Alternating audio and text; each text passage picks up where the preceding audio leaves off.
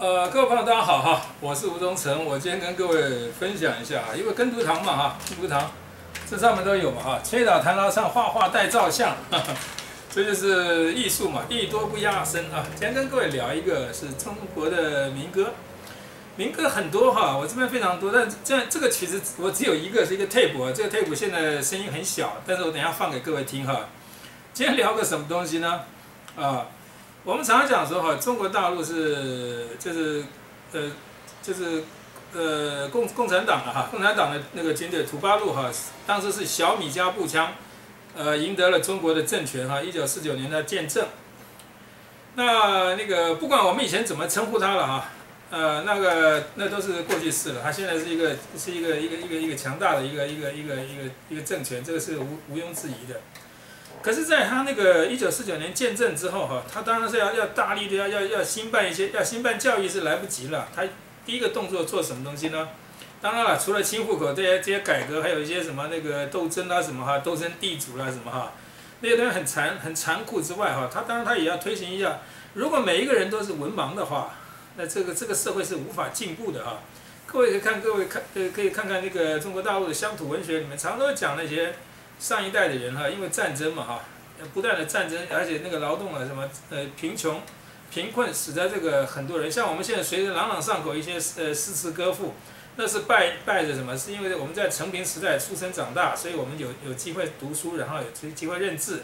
也不是说我们每个人都是这个书香门第，那是因为有教育的机会。可是，在乡下人他们在贫困中间哈，在那个在那个生生死线上挣扎的人哈，他根本就没有机会认字。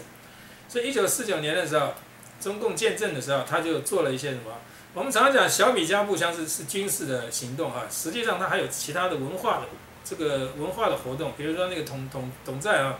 他用了很多音乐啊，我们这我们现在可以看看哈，等一下我放那个音乐就是吐了出汁儿的音乐哈，那那个歌，这歌这歌的名字叫做什么？叫夫妻四字哈，我记得我这边有他的谱哈，跟他的歌词是，我买的，中国大陆那个所有的那个。呃，民歌的那个歌谱，我这边有几十本呢，我是收购啊，我到那边就全部买买下来，啊，因为我要我演奏的时候我可以吹这个东西哈，可以可以直接看直接有谱子，不用去再再采谱了啊。那 那这个这是我的呃我的音乐书房，呃除了书以外，我还有音乐哈，很多 CD 啊 VCD 啊什么哈，还有那个 tape，以前还有 tape。等一下，我这个这个我只有一个 tape 哈，没有没有 CD，这很可惜。为什么？因为那个东西现在已经是那是那是以前的时一个历史时期的一个遗留。我记得这个曲叫做什么？叫做夫妻四字哈，夫妻四字。等一下我放给各位听，非常的土土的出汁儿的哈。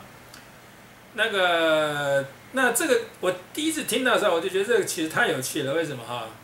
他就是那个写上黑黑板上写字啊，放呀嘛放光明啊，那个字会发亮啊。然后桃子李子那个就像我们小时候学人口刀尺一样，有没有？就学认识字嘛。可是这成年人开始认识字了，就是文盲嘛，农民嘛，啊。然后两个人非常有趣的就是夫妻在这边讲说啊，你认识了这个桃子李子啊，这是驴子，那是马，那是那是狗，那是什么东西的哈？那是牛。成年人开始识字，搞不好他都有小孩了，哎，他还才开始识字哈。这种情形其实，在过去那个时代哈，屡见不鲜。只是我们对那个不识字的人，因为我们认识字哈，我们看到那个那些文字什么，我们一点障碍都没有。那些人看到字就是跟天书一样，就跟看到一条蛇、看到一条虫一样，他完全不晓得那上面讲些什么，表表表示什么意思哈。那这个夫妻就是他们两个人开始就扫盲嘛，扫除文盲，叫做大陆叫扫盲。扫盲的工作就是到乡下去哈，派了那些文工团啊什么哈，那些文化工作人人员哈，到乡下去教他们识字，教他们教他们开始认识字。中国大陆叫这个叫什么？叫学文化啊，学文化啊。那个这个这文化在这边不是指的学历哈，它指的就是知识了，就是就是简单讲就是就是让你扫除文盲，扫盲的东东工作。结果这一对夫妻，成年夫妻哈，看到那个黑板上写那个字，他认识啊，这是桃子李子，原来这个桃子李子是这样子写的，啊，两个人非常兴奋的唱了一首歌，这首这首曲子哈，来，我先放好了。噔噔噔噔噔，啦啦啦啦啦，黑上黑板上写字要放要么放光明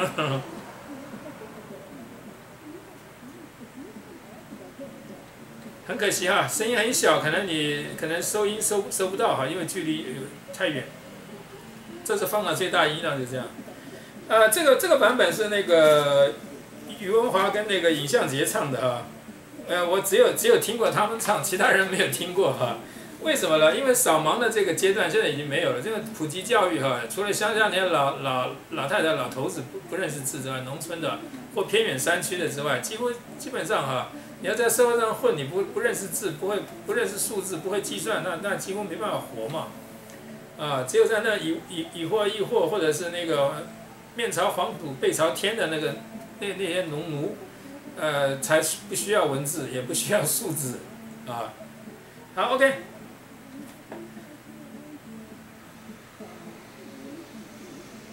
很很逗趣儿哈，他的他用的是北方的那个方言的那个那个那个腔来唱的啊。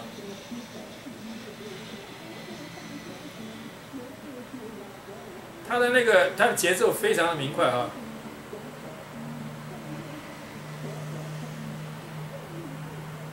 桃树、李树、杏树，哈，好 OK，啊，有机会各位可以可以去去去去搜寻一下哈，夫妻呃四字哈。那为什么我要聊这个东西呢？因为这个曲子哈，第一次听的时候我就觉得，因为它吐出了吐得出汁儿嘛哈。呃，我没有听过这样的一个曲式，因为这个这个跟台湾的这个民民歌是差很远，而且跟是呃跟那个中国大陆各地的民歌哈，它这个这个小曲儿特别奇怪。呃，我看到他那个作曲的人是马可哈，其实他不那那个那个马可这个曲子不是他做的，是当初哈中国那个在那个。在那个那个解放军呃，就土八路时代哈，他们很多这个艺术工作者下乡去啊，去搜寻啊，采风，搜寻很多的那个。等一下我们还会再介绍别的啊，呃，别别的片里面啊，那他们是搜寻了很多那些民间的这个这个这个曲艺哈，还有小曲了那个这些什么什么调啊这些东西哈，那他们把那个东西然后加上，填上新的词，那个词都是有有教育意义或者有革命意义的在里面哈。使得这个这个这个这个这个曲子又又有新的生命。另外，可能他们还经过了一个新呃新的一个编排，不是不是原汁原味。所以这个曲子一出来之后，传唱为什么？因为民歌就是就像那个就 像就像那个粮食一样，也就是当地的哈一方水土养一方人，那个地方的人就要听这个东西。就像呃湖南人不吃辣椒，他这吃不下饭啊。有辣椒，他菜都不要，就吃辣椒就配饭了啊，就是这样。因为民歌它就是从那个民族里面哈传唱出来的啊，民歌不是不是音乐家去写的，不是，它就是一个调子。比如说赶牛、赶赶羊哈，或者是放马，他就哎就就他就在叫吆喝的时候啊，哎像那个蒙呃像那些蒙古的长调啊什么这样，哎他都是这样子来的啊啊，像那个农那个呃劳动号子。嘿咻嘿咻，然后哎，他们就可以弄出一个频率来，弄出一个那个旋律出来。这些东西就是民歌的基础。那这个曲子哈，为什么我我特别要介绍？就是因为我听了以后，我就想说，哎呀，这个人太有才了，怎么会怎么会创造出这样的一个曲子来？后来我辗转的知道哈，听，因为我看到有时候有介绍这个东西啊，有的人拉像那个以前已故的胡琴，胡琴那个大师叫刘刘明元哈，他曾经拉过这，他也他也解释啊，他在文字上有解释这个曲子哈。那这个曲子哈叫做叫做那个，有的人叫迷糊调，就是就是糊里糊涂那个小迷糊的迷糊啊，迷糊调，其实是不是？就是大家以讹传讹，一直叫这个叫迷糊调啊。所以只要是这个这个曲子就是叫做迷糊调，它是配上这个曲，配上这个词。马可他们把这个曲子采来以后，配上这个词，然后来解释说这个，哎，就来来来聊这个说夫夫妻两个人。对唱说他们认识字之后啊，两个人多多快乐，就是鼓励鼓励这些文盲啊，哎，看了这听了这个歌之后，哎呀，我今天又学了几个字了哈，那那其实那个字都是常用字啊，还不是冷僻字，那就这样，就所谓的玄文化嘛，就是说你看黑板上写的字放要么放光明，放光明哎，为什么？他原来是一个文盲嘛，瞎子啊，等于瞎子一样，看到字就不认识嘛，现在那个字放放发亮了，啊，他认识字了，你看看。如果是三十岁、四十岁、五十岁、六十岁人认识开始认识字的话，哎，我这我我我以前的邻居还真有嘞，真有六十岁开始开始练习认识字哦。以前我从来都不知道这个这个住在隔壁的人居然是居然是个文盲，当然他是个兵的啊。呃情形很特殊。那那这个曲子哈，其实根据刘明源的说法哈，说这个曲子并不叫做迷糊调，不是什么小迷糊啊、糊涂的那个迷糊，不是那个，它是有两个县哈，一个叫什么迷县，一个叫做湖县，两个地方都是在山西这个地方，它是这个地方的地方的一个小小曲啊，就流行在这个地方的小曲，当初被这个这这些那个这些当那个那时候那时候的土八路就是红军了。到那那个文那个文工文化工作人员哈，那些艺术家到下乡去采谱的时候，听到那边的呃那那那些那个乡亲们在唱这个歌的，唱这个曲子之后，他们就把它采下来，采谱之后编了这个词，啊，因为他们编的时候，他们并没有讲说这只是某个地区采的啊，然后就这叫对症下药，你用那个地区采的那个谱子，你把那个词填进去之后，拿到那个地方去做统战工作，太有效了，啊。所以中国大陆不是只有小米加步枪赢得了那个胜仗，它这个部分它把那个基层的人民的思想通通都拉拢了，它靠什么？靠音乐，靠艺术。所以他们那个什么呃那个什么鲁迅呃艺术学院什么，其实那是一个非常简陋的一个一个一个一个暂时性的学校，战就是战战争的战暂时性的学校。他主要的要培养的那些人才，就是就像现在的时候，以前的义工队，啊，现在的所谓文工团，但是这些现在这些人都是呃艺术院校毕业的啊，专业的。那时候不是啊，那时候是从那个戏曲班子里面从各地弄来的，像呃很多个哈，呃以后我们会介绍说那那些人，他们有些都是以前是唱戏的，或者唱小曲的或卖艺的，这些人收拢出来，然后他们就来唱，因为他们才是原汁原味嘛，原人。啊，就是现在所谓的那个原这个叫做什么原原生态嘛啊，那刚才讲这个迷迷迷浮调哈，迷浮调这个曲子，我是觉得是一个非常成功的例子哈。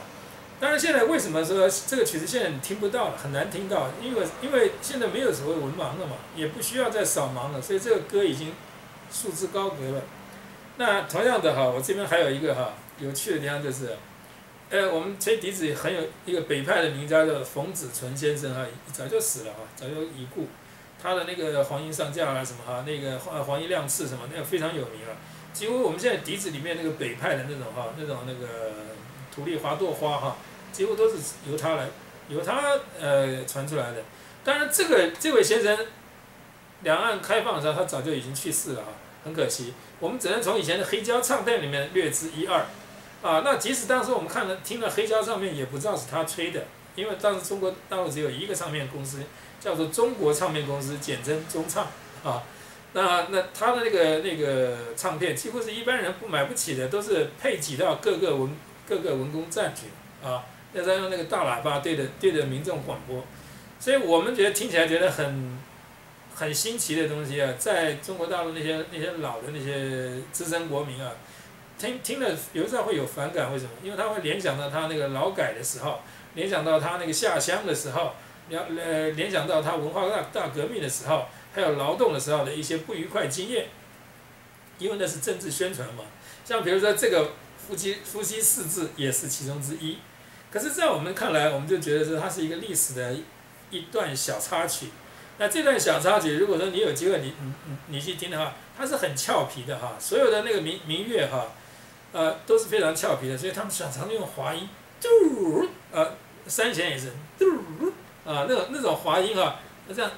他他他他那个把位哈，临时改变，还有拉胡琴拉拉弦的也是这样哈，那那给人一种非常俏皮的一种一种一种感觉哈，这就是小曲的迷人之处啊。今天跟各位分享就是一个扫盲的一个时代歌曲，叫做《夫妻四字》啊，谢谢。